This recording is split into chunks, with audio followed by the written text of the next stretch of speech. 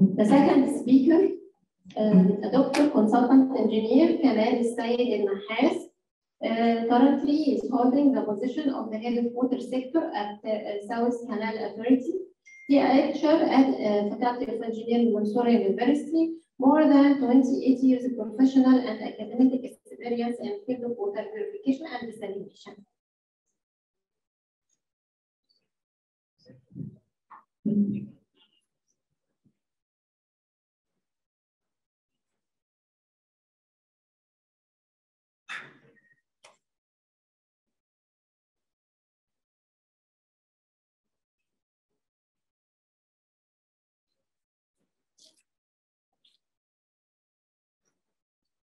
بسم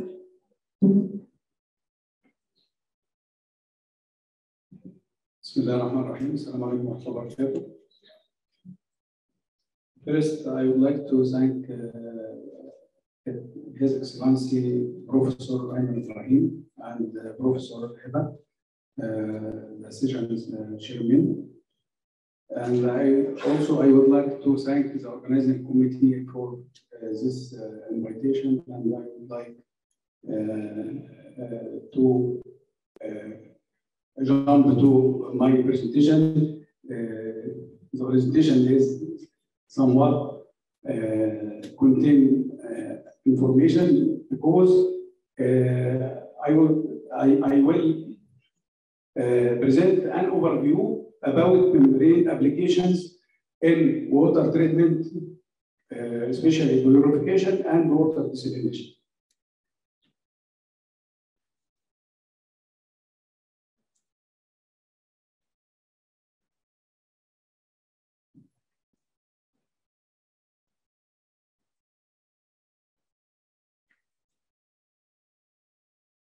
There is uh, three uh, main uh, topics in uh, my presentation.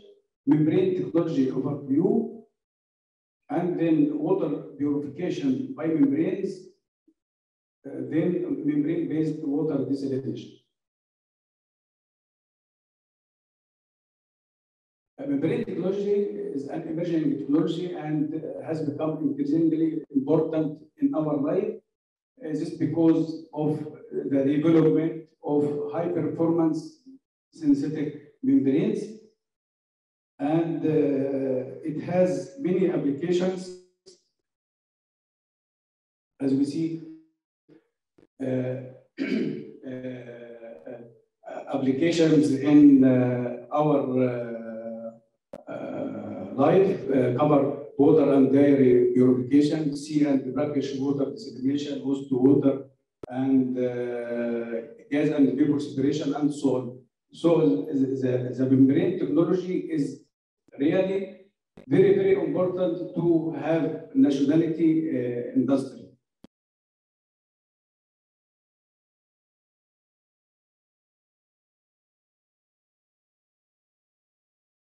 Uh, we could make a classification uh, of membrane technology by many, by many driving force, membrane material configuration, and others. If we begin with driving force, then the driving force uh, may be pressure driving force or electric driving force concentration gradient and temperature gradient. Pressure driven and electrically driven is the more popular use. And if we uh, extend the, uh, the presentation for the pressure driven, pressure driven uh, family are four types of pressure driven membranes, microfiltration, ultrafiltration, nanofiltration, and reverse osmosis. It differs by pore size and the pressure uh, required for operation. As we see, microfiltration, the nominal size is 0.1 micron, and the smallest one is reverse osmosis, 0.0001 micron. This means that reverse osmosis is required is requiring uh, more high pressure and microfiltration require less pressure for operation. Uh, reverse osmosis, as we will see, uh, may classify as high pressure membrane. And the other three from microfiltration, ultrafiltration, nanofiltration may be classified as low pressure membranes. Because the reverse osmosis membrane require, in addition to the pressure for uh, hydraulic resistance, it require more pressure to withstand the osmosis pressure. So we can see that the pressure required for reverse osmosis may be reach 60 bar. Uh, while in microfiltration, it may be less than one bar. Uh, if we see to this figure, schematic diagram, the pore size also is uh, uh, larger for microfiltration and uh, this schematic means is that in reverse osmosis, every impurities may be rejected and only pure water will be passed through the membrane. Uh, microfiltration in the other border, it may reject some big bacteria, big size uh, impurities like bacteria, and other impurities may pass through the membrane. This spectrum help us to uh, uh, make a selection for what kind of membrane can be used to remove impurities. This is membrane uh, type and this diameter, and this impurities found may be found in uh, water. Uh, ultrafiltration may uh, remove all colloidal particles and proteins and most of viruses. So uh, ultrafiltration uh, can be uh, alternative to traditional treatment or purification of water. Uh, it will remove, uh, we, we all know that the surface water uh, required to purify it make two problems. Colloidal particles that make the turbidity in the water and the microorganisms. We see that ultrafiltration remove all colloidal particles and also uh, remove most of microorganisms. So it will uh, uh, replace the traditional treatment like coagulation, filtration, sedimentation, and filtration, and also initial disinfection or primary disinfection. We can make final disinfection or final chlorination for the network. Another classification according to membrane material, polymer and ceramic or polymer and inorganic. Inorganic may be ceramic, glass, metallic. It is specified as uh, uh, low inherent fouling, excellent thermal stability, chemical uh, withstand chemical attack, but it high, highly more costly than polymer. According to module, module is uh, an uh, structure for uh, the membrane to optimize the surface area and reduce to reduce the degree of fouling. The available modules are hollow fiber, spiral wound, tubular, and flat sheet uh, modules. The hollow fiber configuration is most common configuration for microfiltration and ultrafiltration. It is a, a fiber tubes uh, from 0.5 to 1.5 millimeters uh, and thousands of these tubes contained in a module. Like this shape, this is a module. This is thousands of, of fiber tubes to, to be contained in uh, a module, and, and this is a section in one fiber tube. The module will be uh, uh, uh, will be put in a cassette, and this cassette will be put in the tray. So this technology is uh, has an advantage that it is modular. Modular means that if we uh, would like to expand or extend the, the, the plant, we can uh, repeat this this unit as it.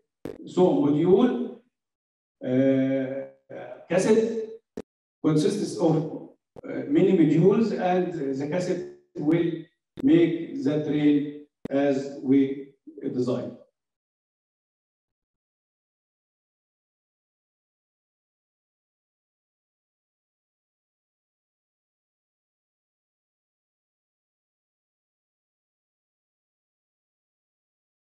Uh, another uh, classification according to the type of flow.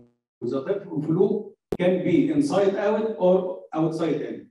Outside in means that the feed water will be outside the membrane tube, and inside out the feed water will be inside the membrane tube. Uh, the outside in is uh, most favorable because it is require minimum pre-treatment. It is easy to be uh, flashed or washed because uh, the, the contaminants will be collected in the outside surface and can be back washed uh, uh, with the help of air. Also, uh, immersed or submerged uh, hollow fiber membranes this will work by outside in uh, configuration. Like this. This is the membrane will be submerged in the in an open tank. Feed water will be uh, fill this the tank, and there's a vacuum pump to make suction inside the uh, fiber tubes or uh, tubes, and this suction will uh, move or drive the water from outside to inside. Uh, uh, another one is pressurized. Pressurized, uh, the feed water is pumped and have Uh, a pressure and to go inside the tubes. Uh, impurities will be retained inside the tube and the pure water will be go outside.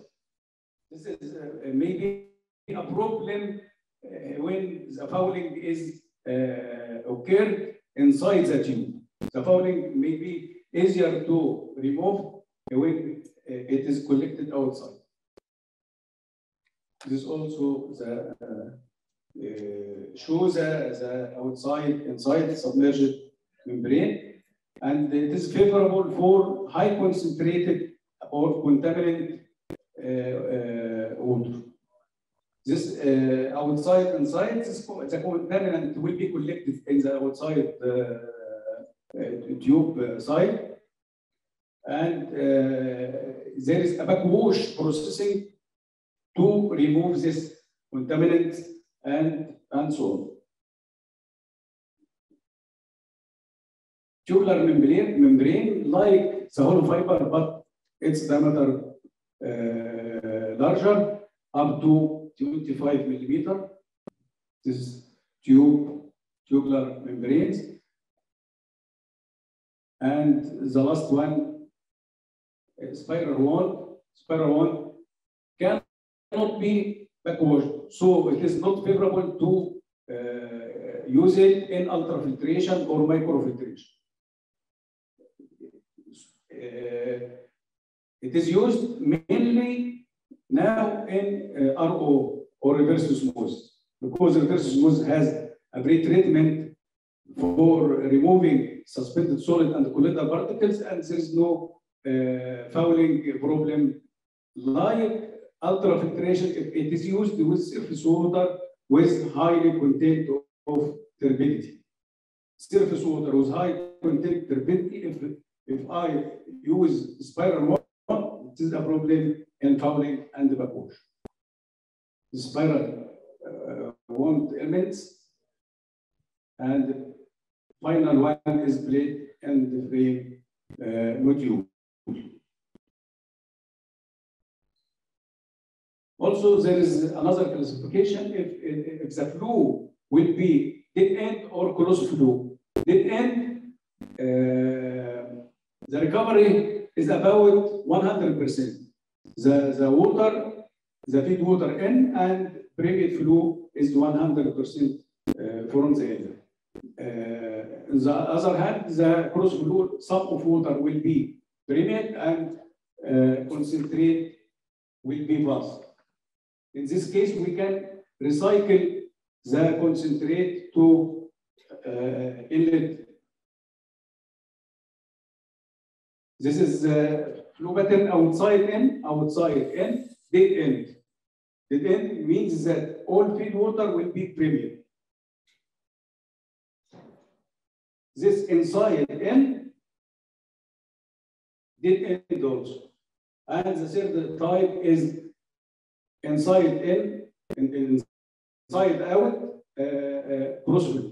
This is three types, maybe uh, combination between uh, alternative solution. According to the surface water properties and contaminant, we can select which process I will need. I, I may need ultrafiltration only if it is particle and the virus and the microorganism and so on. Uh, uh, it can also, uh, flocculation and coagulation may be used before ultrafiltration as a pre-treatment to enlarge the particle size and, and convert the fouling from. Okay. Uh, uh, fouling from irreversible to reversible. Reversible fouling is the fouling that may be uh, removed by backwash. So if these particles uh, collected on the surface, it, it, it uh, can be backwashed easily. So it will be reversible in this case. This is a flocculation before ultrafiltration maybe use ultrafiltration with carbon and ultrafiltration with nanofiltration. Finally, if it is ions, we can use ultrafiltration as a pre-treatment for the reverse osmosis. Nanofiltration uh, may, be, uh, may remove some salts, multivalent salts, so it is also required somewhat high pressure. Uh, for the time, I will uh, jump to uh, ultrafiltration advantage. Uh, uh, it, it are capable of removing cysts like cryptosporidium. Cryptosporidium and Giardia cysts is characterized by this chlorine resistant. This chlorine resistant. And uh, this is uh, main factor that uh, we can see that ultrafiltration is a must for treatment of the residual of water purification plant. Water purification plant, as we will see if, we, if there is some time, uh, have many wasps.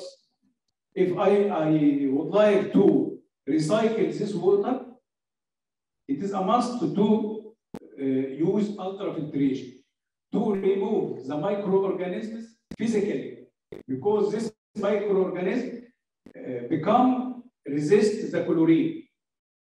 And so if it is wastewater is recycled to the intake, it uh, contains some microorganisms that not disaffected by chlorine. So it is preferable to removed by ultrafiltration.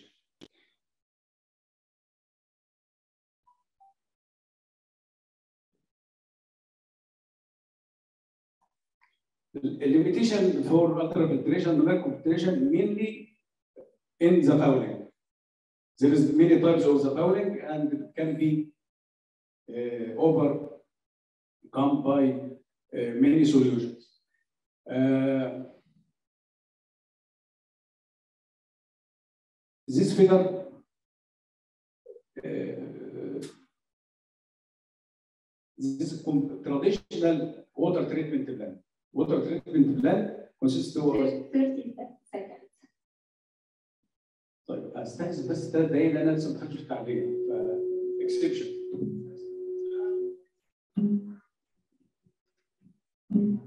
You move now to direction, uh, to the recommendation directly, please. Three minutes exception. This is an overview and uh, Accepted three minutes? Not more. yes. Three Egyptian minutes. No.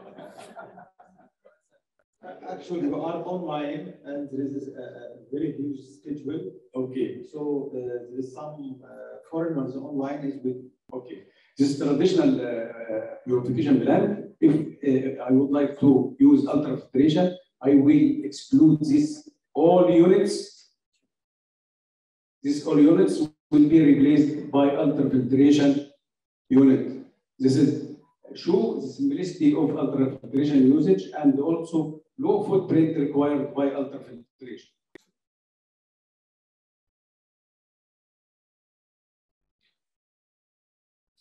Desalination احنا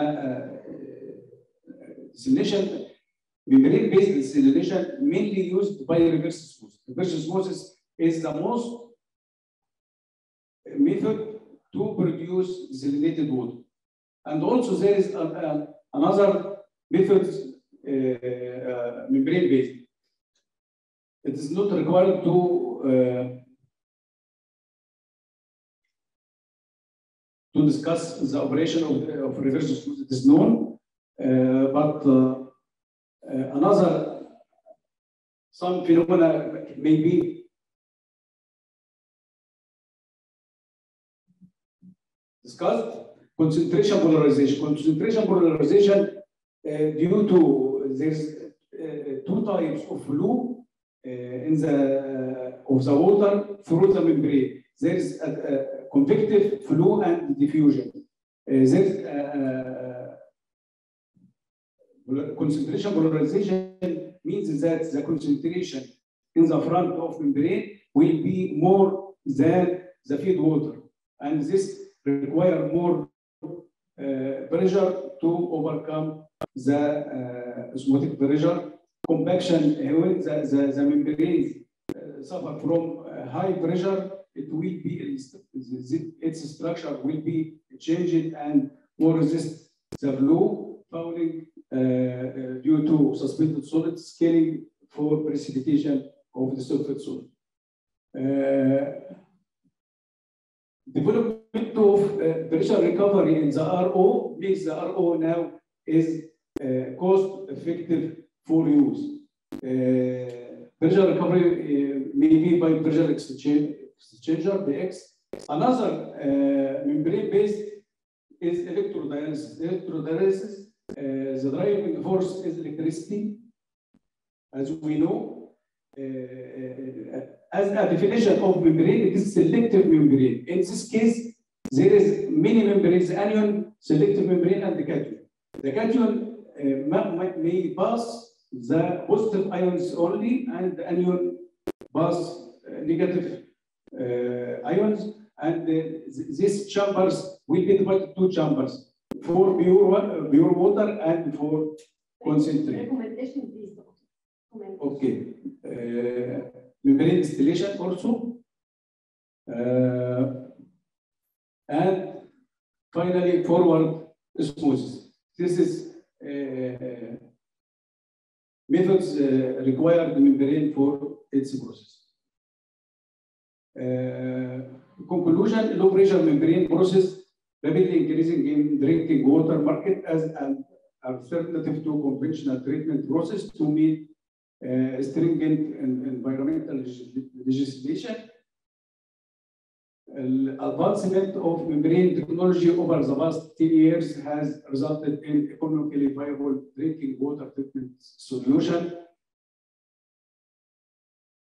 The cost of low pressure membranes uh, uh, is one of major drivers. The, the cost is reduced. Uh, capital cost and operational cost. Capital cost because of mass production is increased and so on. Operational cost, in, innovative uh, backwash system and so on, re reduce also operational cost. And uh, finally, thank you for your patience. And this is uh, my contact. If you, we- thank you. دكتور كمال وطبعا هنستمر بس معلش اعذروني استاذن كده السيشن معلش بقى شير الديسك صعب شوية علينا لكن الحمد لله يعني قعدت معاكم فكره علم يعني في الروح بتاعت العلوم أصلا بعد الكوفيد مشتاق جدا ان أنا اتواجد في كونفرنس ويعني اتواجد مع علماء بتوع مصر تكنولوجي بس طبعا الدكتوره هبه يعني متشكر لها جدا انها شاركتني الليدرشيب بتاع بتاع السيشن ده وان شاء الله هنكمل معاكم السلام عليكم